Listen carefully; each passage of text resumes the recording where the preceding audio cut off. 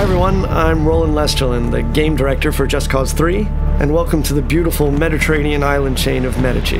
As Rico Rodriguez, you'll explore all 400 square miles of this vast open world. Right now, let's just jump straight into free fall towards the town of Alba. At Avalanche Studios, we love building huge sandbox worlds, and everything you see here on the screen you can travel to. The hills, the mountains, the beaches, you name it, what you see, you can go straight to it. The story behind Medici is that it's being held under the brutal control of the dictator General Di Ravello. And as you can see, his domineering presence can be felt throughout all the towns and the villages. Inspiring a revolution to free the people is no simple task for any ordinary citizen. But Rico is no ordinary person. With his unique tools of destruction and large arsenal of weaponry, it's entirely up to you on how you want to free the people. It can all start with toppling one of the classic symbols of General Di Ravello's rule,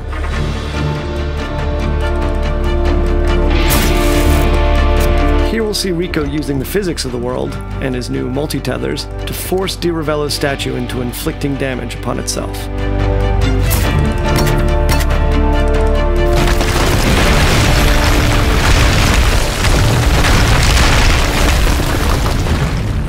Alright, so with the statue destroyed and Di Ravello's tyrannous grip on the town of Alba no longer quite so tight, let's have a look at Rico's new upgraded grapple.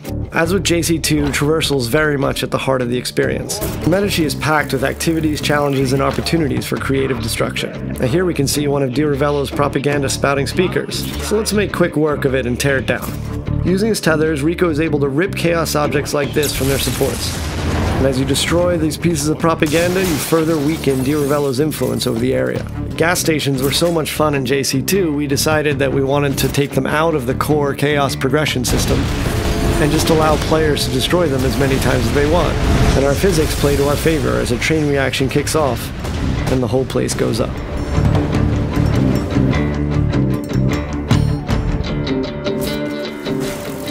Let's take advantage of Rico's brand new wingsuit, which completes Rico's set of aerial abilities alongside the grapple and parachute.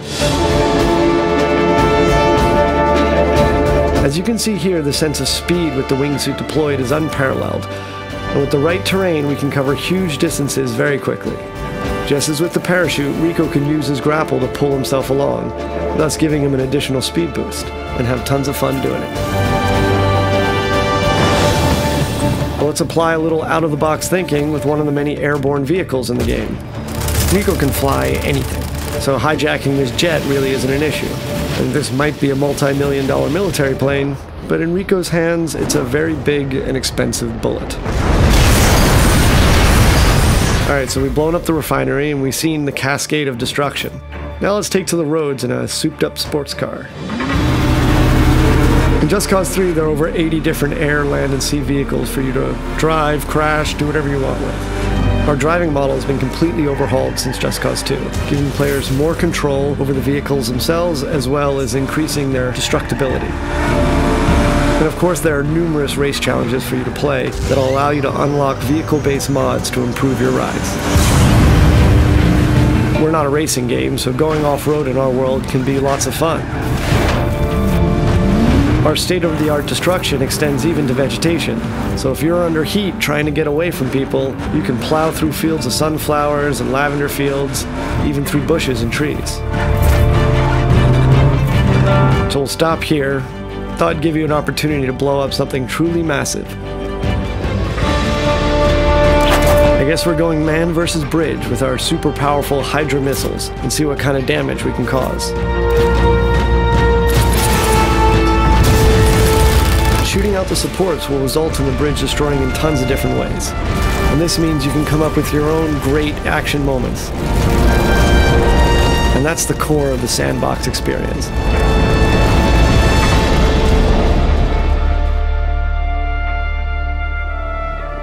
With the bridge out of commission, Rico can focus on the next objective. And to make that a little easier, we've instituted a new Rebel drop system. The Rebel Drop system allows Rico to order weapons and vehicles at a moment's notice via airdrop. This beautiful and peaceful flight offers us another opportunity to show off a new feature, and that's our new stunting system. So we moved away from the specific authored points on vehicles from JC2 and allowed the player total freedom on top. So if you jump out onto the plane, you can actually walk around the plane wings themselves. And of course, the plane itself can be used as a means of destruction. Maybe we should get off the plane first. Let's swap out wings for wheels and take a motorbike for the remainder of our journey. And while it's nice to weave along Medici's roads with the wind in our face, it is inevitable that Di Ravello's men will catch up. We can do combat directly from the bike, and eventually defeating Di Ravello's military. And here we are at another of the General's huge military facilities. Let's put all of Rico's abilities and tools to the test, and take down Vigilator Sud's huge communication spires and satellite dish, and cripple the General's hold on Sirocco.